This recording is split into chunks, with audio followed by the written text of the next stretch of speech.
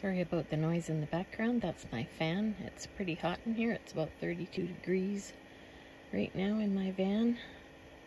And I'm at, back at Cooke Creek for the first time in probably a month or two. The bugs are out a little bit.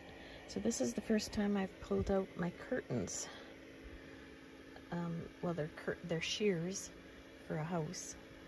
So I've just left my side door opened and I've kind of magneted it up there with magnets, which I'll show you in a sec. Um, it doesn't allow much breeze to come through, but I do have my fan running. My little fan. I'm going to pull the big one out tonight when I try to sleep. So I'm going to try and sleep with it like that tonight. And you'll note it looks more spacious in here. That's because of my wheelchair.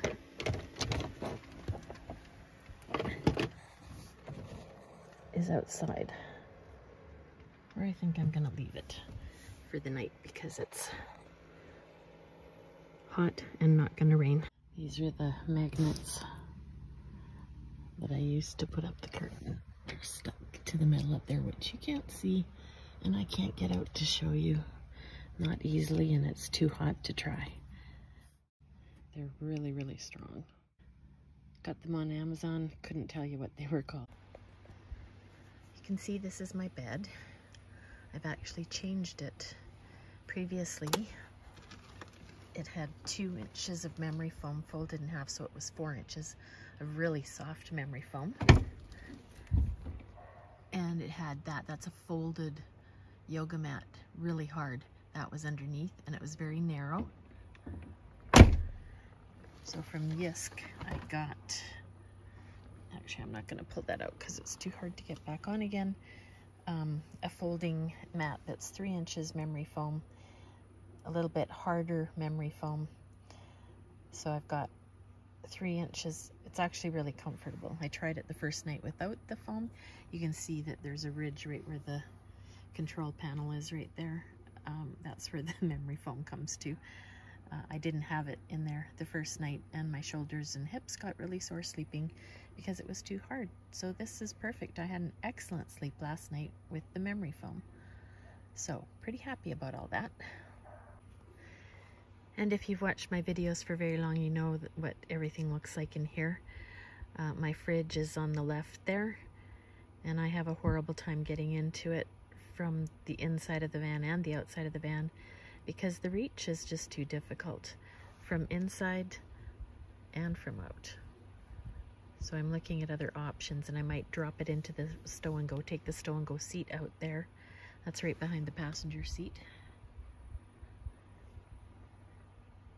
And then it would be easier to get in and out, get things in and out of. So we'll see.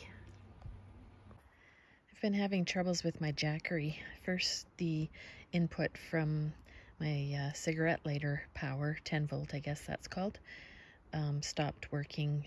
The connection was loose, but the solar panel was still working. And I brought the solar panel out this morning to charge up, and now it also isn't working.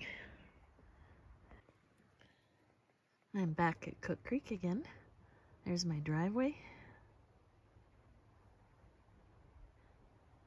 Do have some neighbors there, but it's still pretty private. And then behind me, it's beautiful. It's just all forest. So this isn't a river site this time, but um, it's more shady. And I'm absolutely loving it. And another shot starting at the back of my campsite. And then this is just gorgeous, this little grove over here. I have some pictures that I'll insert too but it's so private. I just really, really love Cooke Creek. Every spot is unique and wonderful.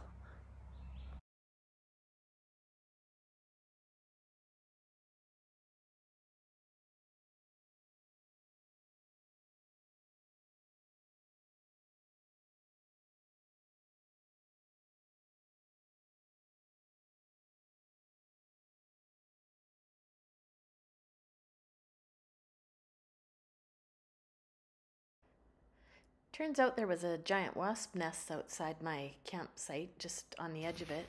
Camp host came to take care of it, but uh, They came at night, so they were asleep, but. Big. Okay, hold it up. How bad is your hand? Is it swelling? No. Let's see your hand in here. Where'd he get me you? right. Oh, look, right there. Oh, yeah. Yeah, right there somewhere. Oh, uh-huh. right there. Yeah, Oh, yeah, yeah. but you can see it's swelling over You the. got that twisted up?